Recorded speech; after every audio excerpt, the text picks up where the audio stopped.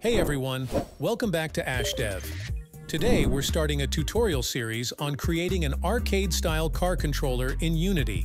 In this first part, we'll delve into the intricacies of suspension logic. Stick around till the end for some valuable insights. Let's get started and understand the approach of suspension first. Imagine we're shooting rays from each corner of the car, all pointing downwards. Now, if we apply a force to the car as a ray makes contact with the ground, it causes the car to bounce off the ground. And when the ray's no longer hitting the ground, the car starts to fall again. This cycle could keep the car bouncing endlessly. So, we need to fine-tune the exact amount of force needed to maintain the car just above the surface, avoiding any unnecessary liftoff. I'll explain how we achieve this later in this video. Now let's start with our project. Create an empty object and name it car. Then add a 3D cube under it. This cube will serve as our temporary car body, which we'll replace with an actual car model later. Change its dimensions so that it can look like a car. Next, create another empty game object and name it Ray Points. Under this object, add four more empty game objects. These will mark the positions from which we'll project the rays. When positioning these, Ensure their placement is symmetrical for optimal balance and performance. Also, label them according to their positions. Now, let's dive into the coding part. Begin by creating a script named Car Controller. In this script, add a header called References. Beneath this, declare a rigid body named Car RB to represent the car's rigid body. Then, create an array of transforms named Ray Points. This is where we'll store all our ray points. Following that, define a layer mask called Drivable. This layer mask will help us specify on which surfaces the car can drive, ensuring the car won't accidentally climb onto things like walls or other undesired objects. Next up, add a new header titled Suspension Settings. Under this, introduce four float variables, spring stiffness, rest length, spring travel, and wheel radius. Now in the start function, get the car RB. Let's break down what each of these variables mean. Rest length is the standard length of our theoretical spring when it's not being compressed or stretched. Spring travel is the maximum distance our spring can either compress or extend from its normal position. We will use this to calculate the force to apply based on how much the spring has compressed or extended relative to this maximum travel distance. Spring stiffness represents the maximum force our spring can exert, which occurs when it's fully compressed. Now let's take on the suspension logic. Start by creating a function named suspension. Inside this function, declare a raycast hit variable named hit to hold data from the raycast hit point. Then, introduce another float variable named max length which represents the maximum length of the spring, calculated as the sum of rest length and spring travel. Next, wrap all these operations in a for each loop, since we need to execute them for each ray point. Thus, for each ray point in our ray points array, we'll apply the following logic. Use an if statement to shoot a raycast from the ray point's position in downwards direction. Use out hit to store the ray's hit data.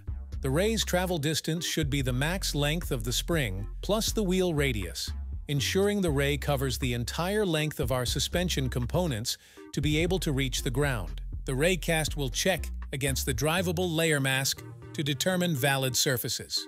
Now, let's create a float named current spring length to figure out how much the spring has contracted from its resting state. To do this, we'll subtract the wheel radius from the hit distance, which gives us the current length of the ray. When the spring is in its resting position, this calculation will be equal to the rest length, which we're using as the spring's length. Next, introduce another float named spring compression. This variable will hold the current compression of the spring so we can apply force accurately. It's calculated as the rest length of the spring minus the current spring length, showing how far the spring has moved from its rest position. Finally, we divide this by the spring travel to scale the compression ratio between 0 and 1, enabling us to understand the spring's compression in a normalized manner. Create a float to hold the spring force, calculated by multiplying the spring compression by the spring stiffness. This represents force required based on the spring compression. Next, apply this force to the car in an upward direction at the ray point by using Add Force at Point. This action pushes the car upwards from the contact point, simulating a realistic suspension effect. To visualize our suspension system, we'll draw a ray from the ray point's position to the hit point's position in the downward direction of the ray point, using red color to indicate contact. If the ray isn't hitting anything, then we'll draw a ray from the ray point's position, extending down to the maximum length, plus the wheel radius, and we'll use green color for this. Lastly, ensure to call this suspension function within fixed update.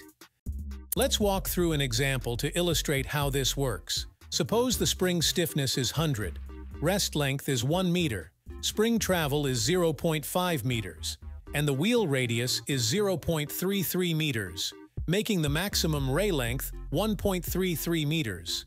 Imagine something 0.25 meters high gets under the tire, so the ray now hits this object. Now the ray length becomes 1.08 meters. According to our formula, the current spring length is the ray's length minus the wheel radius, resulting in 0.75 meters.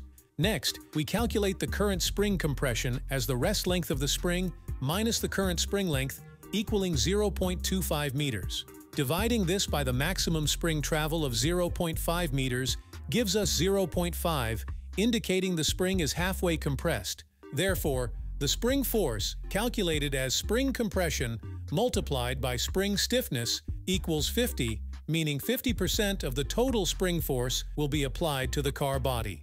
Now, let's move to the editor and see our car's suspension in action. First, we'll set the variables, attach a rigid body to the car, and set its mass to around 1,000 kilograms to mimic real-world values, and then create a layer, drivable, and apply it to the ground plane, and in Car Controller set the drivable layer mask to drivable.